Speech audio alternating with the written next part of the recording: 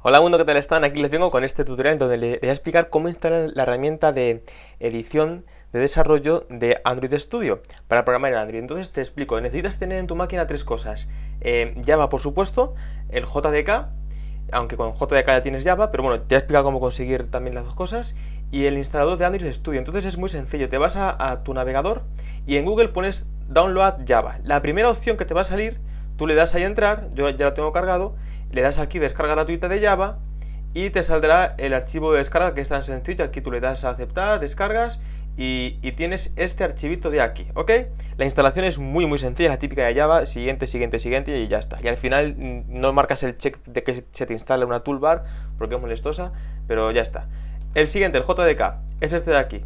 Eh, escribes download JDK, te va a ir a la página de Oracle, le das aquí, aquí tienes que eh, indicar esta opción, esta opción, no esta, sino esta opción de aquí, sin NetBeans, solamente lo que es el JDK puro, y aquí tienes que aceptar este acuerdo e indicar el sistema operativo que tú tengas. En mi caso yo tengo el 64 bits de, Windows, le das aquí la descarga, comienza la descarga, son creo unas 180 megas y tienes aquí este archivo. Fin, eso es todo. Ahora después lo instalaremos.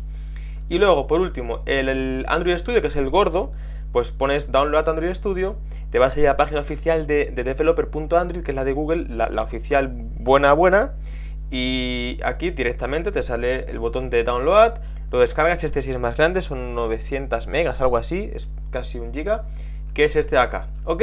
Ya está todo. Bien, vamos a instalar. Este de aquí no lo instalo porque ya, lo tengo instalado, es lo que te digo que es siguiente, siguiente y es facilísimo. Este de aquí, el JDK, lo vamos a lanzar y vamos a ver qué es lo que pasa. Y te explico que esta herramienta es la que necesitamos para eh, editar en Android. Em, está muy extendido Eclipse también, es otra de, otra de las opciones que, tenemos.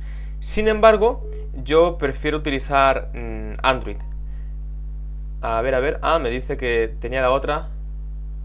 Ok, estaba instalando la... He instalado esta y tengo versiones antiguas, entonces bueno, tengo que eh, finalizar la instalación de la primera. Bueno, mientras yo te, voy aquí explicando, voy a detener esta. Tenemos la opción de, de utilizar Android Studio o Eclipse. Eh, no voy a explicar en este vídeo por qué, porque este vídeo solamente es para el tema de instalación. Yo he elegido Android Studio, ya después en vídeos futuros yo te explicaré. La cosa es que esta herramienta nos sirve muy bien.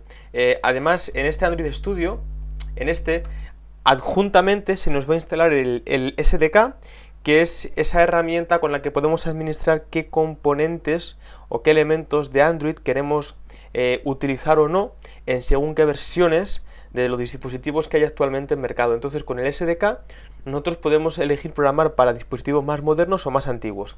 Aparte también se nos va a poder em, utilizar el, AVD, que es la herramienta con la que tú virtualizas dispositivos de Android para ver cómo sería el resultado. Bueno, pues esto ahora sí se supone que ya se ha tenido que acabar, se ha instalado correctamente el Java y lo que he hecho ha sido instalar este de aquí, ¿ok? Le he dado siguiente, siguiente, pero me decía que tenía... Bueno, ya era que tenía versiones antiguas. Y ahora ya aquí pues se te abre automáticamente sin tú hacer nada y puedes detectar cuál es. Bueno, yo no voy a instalar aquí cosas de estas. Venga, vamos con el, con el JDK, que este sí es un archivo más gordo. Este es el kit de desarrollo de Java. Este es el que nos permite em, poder programar con el lenguaje Java, que es el que se utiliza para Android. Entonces, ya están viendo que también es algo muy rápido. Es simplemente siguiente, siguiente. ¿Qué tanto de Java tienes que saber para poder programar en Android? Bueno, eh, lógicamente sí es necesario los conocimientos básicos de Java, de la sintaxis, de, operadores, eh, tipos de datos, clases, herencia, pero más que Java, lo que necesitas no es tanto Java, sino más bien conocimientos de programación de, de objetos, porque Android trabaja mucho con herencias y con ese tipo de cosas, con clases, con objetos, y también mm, lógica de programación. Es decir, si tú ya has trabajado programando, por ejemplo, con, con C y ya tienes asimilado los conceptos de lo que son las funciones, optimizar código, bucles, eh, todo eso a lo grande, pues eh, no, no, mm, eh, no, es necesario que sepas Java bien, bien, bien, le vas a agarrar bien la onda porque tú ya estás un poco acostumbrado a ese tipo de cosas, entonces no va a ser tan complicado. Así que, bueno, pero aún así pues necesitas Java, por supuesto, y, y este es el JDK. Bueno, ahora tenemos que elegir la carpeta de destino, esto es algo típico. Entonces, bueno, pues le damos a siguiente. Ahora de nuevo, ven, se nos instala Java, así que, eh, aunque no lo hubiera hecho anteriormente, pero bueno, eh, se cerciora de que, esté bien instalado. Y ya finalmente está todo concluido. Cerramos y ya tenemos el JDK. Y ahora ya sí vamos con el, el programa gordo, el Android Studio, que es el IDE, la herramienta de desarrollo. Esa instalación sí toma un poco más de tiempo y tiene más, más cosas a tener en cuenta, sobre todo la primera vez, al menos en actualizar el SDK puedes estar horas perfectamente, porque ten en cuenta que tu ordenador no tiene em, ninguno, ninguno de, los de, los componentes instalados o descargados para poder hacer uso de los diferentes elementos que hay en, la programación Android, así que tienes que hacer esa descarga. La primera vez siempre se tarda mucho más, eh, ya te digo, son horas de, espera, no tanto de, de, andar configurando, pero sí horas de espera. Y luego ya después, pues simplemente las típicas actualizaciones de vez en cuando, ¿no? Para que tu herramienta esté, esté al día. Entonces, bueno, pues vamos a instalar aquí el Android Studio. Le damos a siguiente, ¿ves? Aquí es donde instalamos el AVD que te dije, los dispositivos virtuales y el SDK, que como te explica aquí en la descripción es la, plataforma que se utiliza con, herramientas y tal para, para poder hacer uso. Aceptamos, aquí le damos a toda siguiente. Esta es la ruta en la que se nos va a juntar a, a donde se nos va a poner el SDK. Esta ruta es buena que la sepamos. Y bueno, pues ahora ya le damos a instalar y aquí va a empezar a, instalar todo el programa. Una vez que ya instala todos los componentes necesarios para la herramienta, hace la extracción del SDK. Así que bueno, esto ya es eh, cuestión de la velocidad de, tu máquina, que vaya más rápido o más lento, pero te digo, tienes que tener paciencia. Muchas de las cosas que, mm, se, permiten, que se habilitan con el SDK, las vamos a ver en este curso, en el curso de, este de, programación Android, vamos a, a, utilizar varios de esos componentes, entonces bueno, pues va a estar muy bien. Una vez completada la extracción, le damos a siguiente y ya podemos arrancar el Android Studio. Así que le damos a Finish y se nos lanzará Android Studio.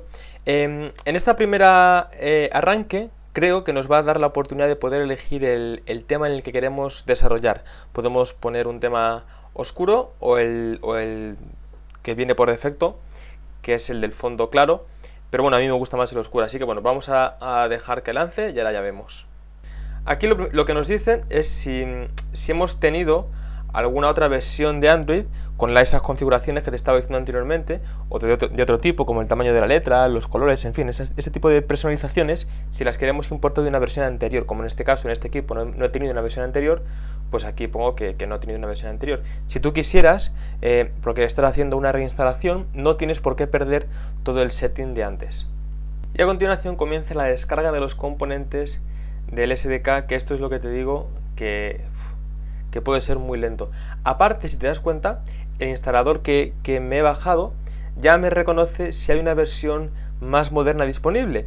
Em, esto no significa que cuando tú entras en la página de descargas, la que te esté dejando sea la más, la más actual. No, de hecho Google, el enlace de descarga que te, que te he mostrado aquí anteriormente, este, esta, esta versión que te descargas con este botón, no siempre es la más, más, más actual. En este caso así nos ha pasado.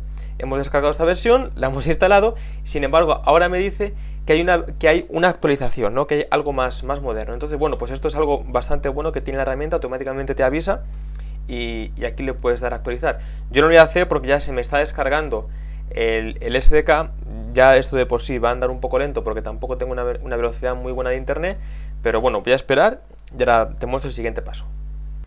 Bueno, y una vez descargados los componentes del SDK, que es un proceso, ya te, digo, muy lento, se nos va a crear eh, la, opción de tener dispositivos virtuales. ¿Esto para qué nos sirve? Bueno, cuando tú estés programando en Android, eh, va a haber veces que, vas a querer lanzar para ver qué tal va tu aplicación, si está funcionando bien, para... Lógicamente, si estás programando tienes que ver cuál es el resultado. Eh, puedes hacerlo directamente con tu teléfono, pero puedes hacerlo virtualmente aquí con la propia herramienta integrada de Android Studio. Eh, te va a permitir seleccionar qué tipo de, Android quieres, cuál va a ser el dispositivo que quieres utilizar y ese tipo de cosas. Entonces con el AVD, el Android Virtual Device, vas a poder hacerlo. Como ves, está instalado para diferentes eh, teléfonos. Le das a finalizar y ya nos aparece la ventana principal de Android Studio. Ya lo tenemos instalado. Ya ahí ya podemos comenzar a utilizarlo. Si quieres actualizar esta versión, pues aquí lo tienes. Aquí en el botón de Check for Updates Now, aquí pues mm, también puedes chequear si hay opciones disponibles y la cosa ya es comenzar a utilizarlo. Así que dejo hasta aquí el vídeo, que es el de la instalación, y ya para el siguiente vídeo te explico cómo crear proyectos. Espero que te haya gustado, así que puedes dar a like, compartir o suscribirte y nos vemos en más tutoriales. Un saludo.